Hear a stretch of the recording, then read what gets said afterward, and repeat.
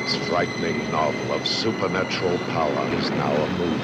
After all, I've just killed 300 people in a field and walked away without a scratch. That makes me pretty special, doesn't it?